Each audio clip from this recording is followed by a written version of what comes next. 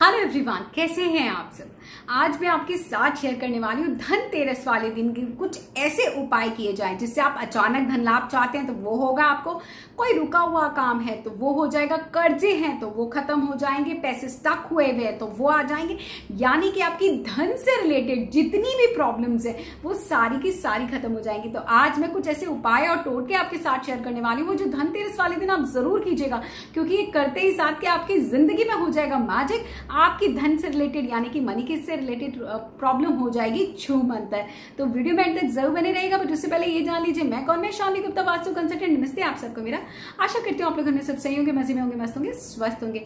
मेरी ब्लेसिंग्स आपके साथ यहाँ भी हँसते रहें और मुस्कुराते रहें। दोस्तों, आप मेरे चैनल पर नए हैं और अभी तक मेरा चैनल सब्सक्राइब नहीं किया है, मेरे वीडियोज़ अच्छे लगते हैं तो जल्दी से मेरे चैनल को सब्सक्राइब कीजिए। साथ ही आज का वीडियो अच्छा लगे तो लाइक और शेयर करना ना भूलें। छोटी सी इन्फॉर्मेशन देना चाहूँगी, मैं कमेंट सेक्शन में अपना नंबर शेयर नहीं करती। आपको मुझसे बात करनी है वास्तु मेरे at the rate of Gmail dot com पर फ्री रेमेडीज अवेलेबल है। साथ में टेलीग्राम का लिंक मैं आपके शेयर साथ शेयर करूँगी, जहाँ पर मैं डेली आपके साथ रेमेडीज शेयर करने वाली हूँ। जल्दी से जल्दी उसे भी ज्वाइन कर लीजिएगा। चलिए दोस्तों, आज मैं आपका साथ शेयर करने वाली हूँ धनतेरस के दिन। कैसे कैसे उपाय किए जाएँ जिससे आपके पास खूब सारा पैसा आए। तो चलते हैं पहले उपाय की तरफ़। उपाय चालू करने से पहले मैं आपको बताना चाहती हूँ, धनतेरस इस बार 22 तारीख को शाम से शुरू होगा 23 तारीख की शाम तक है। तो आप 23 को धनतेरस के उपाय कर सकते हैं 22 की शाम को भी कर सकते हैं या 23 की सुबह से लेकर शाम तक आप आराम से इन उपाय को कर सकते हैं 23 अक्टूबर को। तो चलिए, सबसे पहला उपाय है, आपको क्या करना है, लेने हैं तेरह दिए और साथ में तेरह कोड़िया। अब ये आपको मेन दरवाजे के पास आपको जलाने हैं।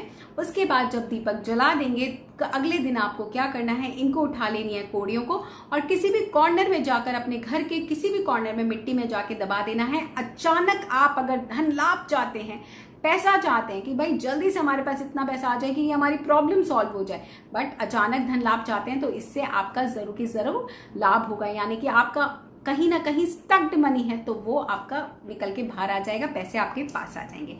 चलते हैं दूसरे उपाय की तरफ़। धनतेरस वाले दिन आपको तेरह दीपक, यानी कि थर्टीन दीपक सुबह या शाम आप चलाइएगा सुबह भी जला सकते हैं, शाम को भी जला सकते हैं। आपको घर के बाहर और घर के अंदर दोनों तरफ़ जलाना है।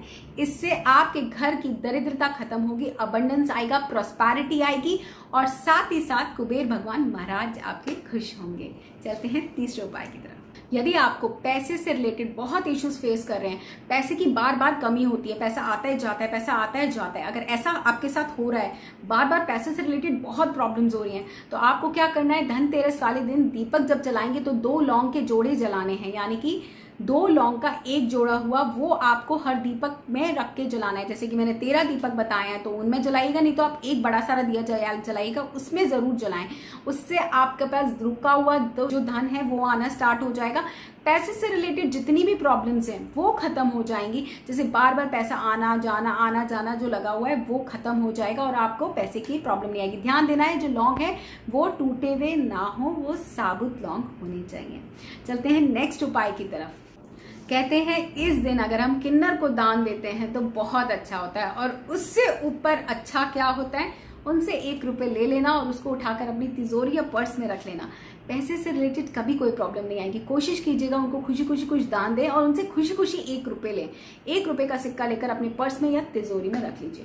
कहते हैं, माँ लक्ष्मी जी को लाल रंग के साथ साथ सफ़ेद रंग भी बहुत प्यारा होता है, बहुत प्रिय होता है। तो इस दिन आप सफ़ेद रंग को ज़्यादा से ज़्यादा दान कीजिए, जैसे बताशे खील आप, ये सब लोगों में बांटिए, सफ़ेद रंग की मिठाई, सफ़ेद रंग का कपड़ा। ये अगर आप लोगों में दान देते हैं तो पैसे से रिलेटेड जो प्रॉब्लम्स है, वो खत्म हो जाएँगी। कर्जे से रिलेटेड प्रॉब्लम है कर्ज चढ़े हुए हैं तो ये उपाय ज़रूर कीजिएगा। कर्जे से रिलेटेड प्रॉब्लम्स भी आपकी खत्म हो जाएँगी। चलते हैं नेक्स्ट उपाय की तरफ़। धनतेरस वाले दिन आप गौ माता को हरा चारा ज़रूर खिलाइए, यानी कि पहला जो निवाला होता है, रोटी का, या आप हरा चारा खिलाना चाह सक, चाहते हैं, कुछ भी इन दोनों में से कोई भी चीज़ खिलाना चाहते हैं तो ज़रूर खिलाइए। इससे आपके घर में धन में बढ़ोतरी होगी ग्रोथ होगी करियर में ग्रोथ होगा बिज़नेस में ग्रोथ होगा कैश में ग्रोथ होगा। अगर आपके पास जो धन है, जो जुड़ा हुआ धन है, वहाँ पर भी बढ़ोतरी होना स्टार्ट हो जाएगी। कई बार लोग बोलते हैं कि हम करियर में स्टक हैं, हम बिज़नेस में स्टार्ट हो गए तो कहीं ना कहीं यहाँ पर बढ़ोतरी होना स्टार्ट हो जाएगी। चलते हैं नेक्स्ट उपाय की तरफ़। धनतेरस वाले दिन आप मंदिर में जाके केले का पेड़ लगाइए या कोई भी सुगंधित पौधा लगाइए। इससे आपका नेम बढ़ेगा फेम मिलेगा, नौकरी में उन्नति होगी करियर में ग्रोथ होगा बिज़नेस में ग्रोथ होगा। आपका नाम भी बहुत अच्छे से फैलेगा जैसा आप चाहते हैं। बिज़नेस में भी उतनी ही ग्रोथ मिलेगी जितना आप चाहते हैं। चलते हैं नेक्स्ट उपाय की तरफ़। लास्ट उपाय है आप एक किसी ऐसे पेड़ की टहनी तोड़ कर आइए जिस पेड़ पे चमकादड़ बैठते हो, यानी कि बैट बैठते हो, वो आप लेकर आइए, तोड़ के ड्राइंग रूम में लगाइए सम्मान की प्राप्ति होगी फेम खूब सारा मिलेगा, अगर पैसा है और फेम नहीं मिल रहा है तो ये उपाय ज़रूर कीजिएगा। साथ में सोशल कनेक्शन स्ट्रांग होंगे। अगर सोशल कनेक्शन से रिलेटेड आपका कोई काम है तो ज़रूर कीजिएगा। इससे सोशल कनेक्शन आपके बहुत ज़्यादा स्ट्रांग होंगे और बहुत ज़्यादा फैलेंगे। तो ये थे धनतेरस के कुछ छोटे छोटे उपाय और टोटके जिन्हें करने से पैसे से रिलेटेड सारी प्रॉब्लम्स खत्म होगी। साल में एक बार ऐसे उपाय ज़रूर करने चाहिए। ये बोनस उपाय होते हैं। बोनस टोटके होते हैं। ज़रूर रंग लाते हैं। मिलते हैं नेक्स्ट वीडियो में। तब तक के लिए tata bye bye. Thank you friend